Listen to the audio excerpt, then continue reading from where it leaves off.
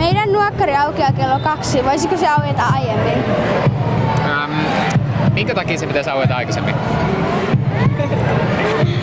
Ähm, koska jos me päästään koulusta vaikka 12, niin se me joudutaan odottaa kaksi tuntia.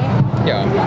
No tota, siinä on vähän sellainen kysymys, että kun, niin kun ihmiset pystyy olemaan niin kuin yhden työpäivän töissä, niin sit jos se aukeaa aikaisemmin, niin sit se menisi varmaan kiinni, kiinni aikaisemmin. Et meidän pitää tasapaino olla sen kanssa. Miten me voisimme saada, miten me voisimme saada enemmän juttuja nuokkareille, esim. kampaamotarvikkeita? No, niitä voisi saada sitä kautta, että puhuisi henkilökunnan kanssa, ehdottakaa niitä. Ja sitten meillä on semmoinen juttu, jonka nimi on ruutibudjetti, jossa nuorilta kerätään ideoita siitä, että mitä tämä alue tarvitsisi. Niin tuokaa niitä siinä esille. Mutta kaikkein niin parasta tapa on se, että puhuu niiden nuoriso-ohjaajien kanssa ja ehdottaa niille. Miksi haluat olla nuorisotoimenjohtaja?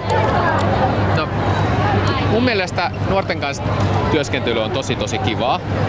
Ähm, siinä oppii ihan valtavasti siitä, että miten maailma toimii tällä hetkellä. Ja sitten meillä on tosi kivoja ihmisiä töissä. Ja oikeastaan nuorisotyön sisällä pystyy tekemään melkein mitä vaan, niin kuin täällä näkyy. Että kaikki tämä, mikä täällä tapahtuu, on nuorisotyötä.